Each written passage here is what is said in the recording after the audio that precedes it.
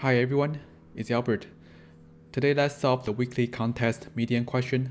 Find k's largest XOR coordinate value. And before we start, don't forget to subscribe to my channel. I'll be constantly solving good and classic LeetCode question with clear explanation, animation, and visualization. Now let's look at the question. The question statement. So we are given a 2D matrix of size m times n, and it's consisting of non-negative integers. And we are also given an integer k. And here we define the value of coordinate AB of the matrix is the XOR of all matrix ij, where i is bigger than 0 and smaller than a, and j is larger than 0 and smaller than b. And we are asked to find the kth largest value of all coordinates of matrix. And in the four uh, given example, they all have the same uh, input matrix, which is 5 to 1, 6. First largest coordinate value is 7, and second largest is 5. Third is 4, and fourth largest is 0. And the data constraint for this question, the size of the input matrix will only go up to 1000. And to solve this question, the first thing we have to know is a key characteristics of uh, the XOR operator, which is A XOR B XOR A will be equal to B. And with this uh, characteristics, we can use dynamic program to solve this question.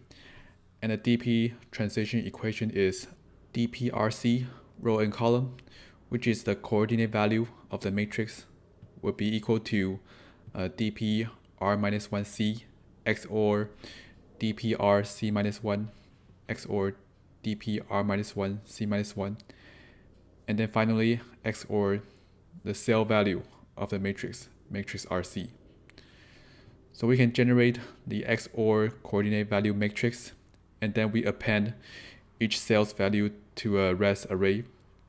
And finally we will sort the res array and get the kth largest value. And the time complexity of this approach will be big of m times n times log m times n because we need to sort the res array at the end. And since the data size of the matrix will only go up to 1000, so this approach will work just fine. Now let's look at the code. The code is pretty short and concise. So basically, we just iterate through every row and column in matrix and then implement the DP transition equation. And here we can just modify the input matrix directly and then append the DP value to the res array. And at the end, we'll sort the res array and then return the kth largest value. Now let's see the code in action. Okay, and here is the input matrix 5216 and they are the same for all examples. And then we will start to calculate the coordinate value for each cell based on the DP transition equation here. So the first cell 5 will still remains 5. And then we will append 5 to the res array. The second cell, the coordinate value will be 5 XOR 2, which is 7. And we will append 7 to the res array. The third cell, the coordinate value will be 5 XOR 1, which is 4. And then again, append 4 to res. And the last cell, it will be 6 XOR 4 XOR 7 and then XOR 5, which is 0. And then append 0 to res.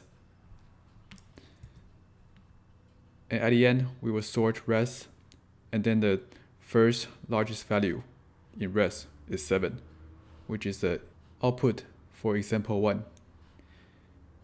And the second, third, and fourth largest value in res is 5, 4, 0, which are the output for other examples and this will conclude the algorithm. finally, let's review. So the key intuition to solve this question is the key characteristics of the XOR operator, which is A XOR B XOR A will become B. And based on this, we can generate the DP transition equation here. So we can generate the XOR coordinate value matrix, and then we append each sales value to a res array. And at the end, we can sort the res array and get the k largest value.